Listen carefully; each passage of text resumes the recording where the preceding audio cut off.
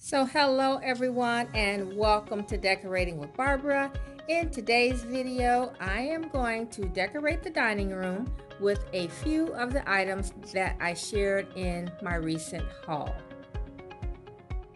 So a viewer, one of you guys, a subscriber, commented on how I could use one of the pieces in my decor and so I thought I would give her suggestion a try and then let you guys see how it looks and then I'm also going to just try out a few more ideas and then you guys can tell me which one you like best or if you have any suggestions of your own. So let's go ahead and get started. So you guys may remember that I told you I wanted to add a little warmth to my neutral decor. And so that's why you saw me bringing in so many warmer metals. And this picture is what pretty much started it all. Now I had picked up this picture last year and I like the fact that it had copper in it and it actually has quite a few metals. It does have a little sprinkle of a gold glitter. There's some silver in there and then there's some shades of gray. And so I've never really used the copper as a um, accent color in this room. So I thought for the fall season I would go ahead and pull out those copper tones.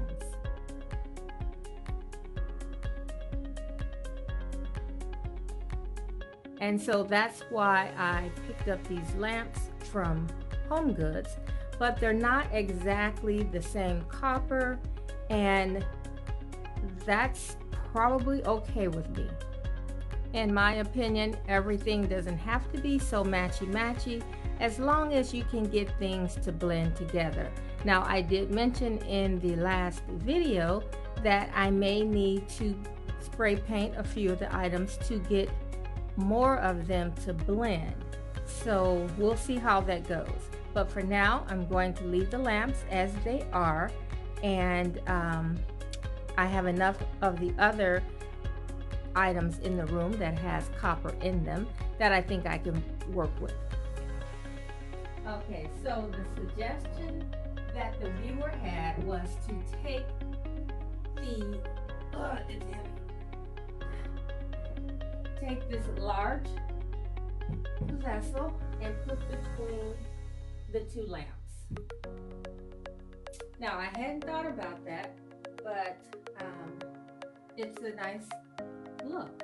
So she also suggested that I take the beads, the green ones, because if you guys remember, I was thinking of taking them back. But she suggested to go ahead and place them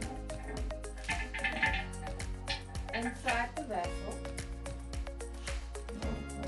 Not exactly sure what her thought process was as how to uh, place them in there, but I like them just hanging on the outside with the cross here. And then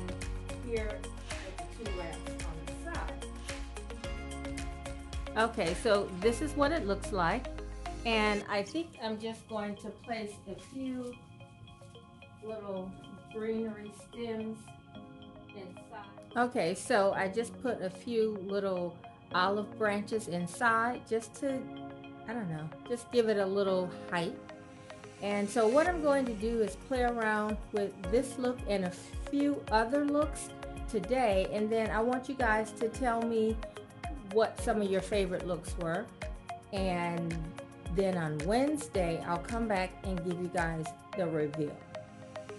Okay, so I also forgot to mention to you guys on the day that I picked up the vase, I also picked up these sticks. So I'm just to see what these look like.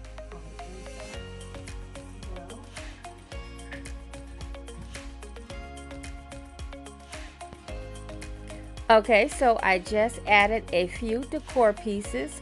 Now, let me know, do you like it with the sticks or do you like it better with the olive branches?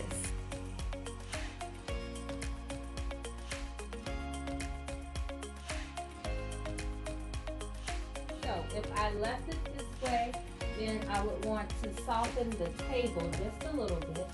So, I would add runner in a light color to pick up the light colors from the buffet.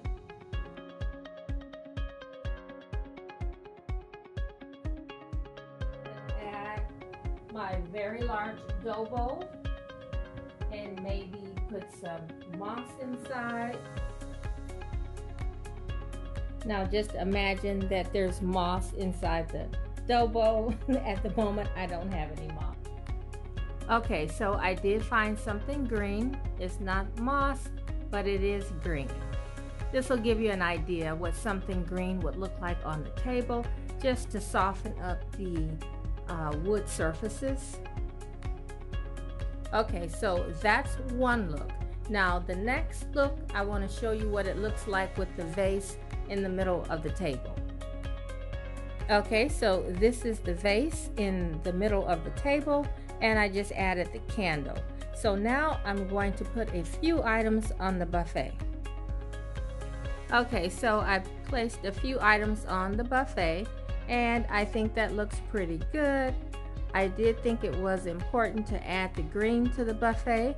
I could add it in the candle holder or I could add it in the greenery.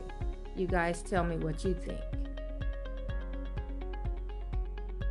Okay, so I like this look as well. It has a little softness to it with the green in the vase. And it picks up on the green in the beads. So I think that looks pretty nice. And I think the only thing that bothers me about the buffet is the brass or the gold on the bottom of the glass vase.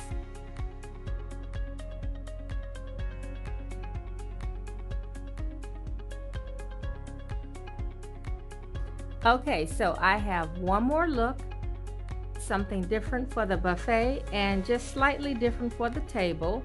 I'm going to keep the vase and then you guys tell me what you think and then on Wednesday I will share the reveal.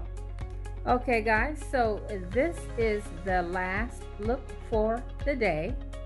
Now you guys chime in, tell me what you think, tell me what you like, what you didn't like. And then on Wednesday, I'm going to come back with a completed look with all the bells and whistles. And guys, it's okay if you don't have an opinion, if you're just here for the ride, that's okay as well. There are a few things that you need to know before you make your decision or make your suggestion, and, that is whatever I put on the dining room table, I need to be able to see the buffet, see what's on the buffet. And so I never like to put, even though I have the candlesticks here and they're pretty tall, as you can see, I didn't place candles on them because candles will give it a little more height and I don't want to take away from what's going on on the buffet. So if you come up with a suggestion for the table, just make sure it's low enough so that it doesn't interfere with what's going on on the buffet. And then we don't want it to be too busy. So, also, I'm going for a more casual elegance. You guys know I typically like that rustic glam look.